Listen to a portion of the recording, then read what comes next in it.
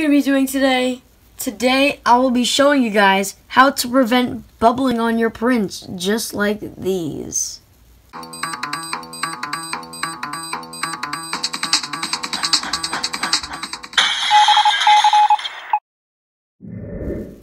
So the way to prevent the bubbling on your prints, just like this or this phone stand that I printed out a couple days ago, the, the way to prevent this is really by changing the wall thickness. Now, it is not because of the size. So let me show you this print right here. You can see the fine quality. It came out perfect. No bubbles, no anything. Same thing with this piece right here.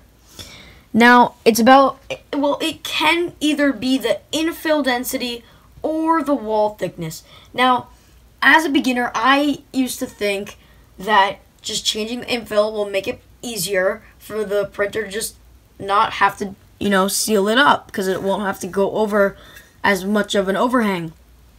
And as I got more experienced, I figured out that that is just a waste of my ink, that is a waste of my filament, and I wanted to figure out a way to, you know, really prevent from wasting my ink and to get the same quality. So the really the way is, you know, what I just said was the wall thickness.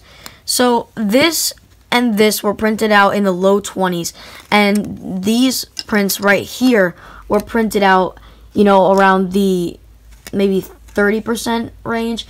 Now, it did not have a thick wall thickness.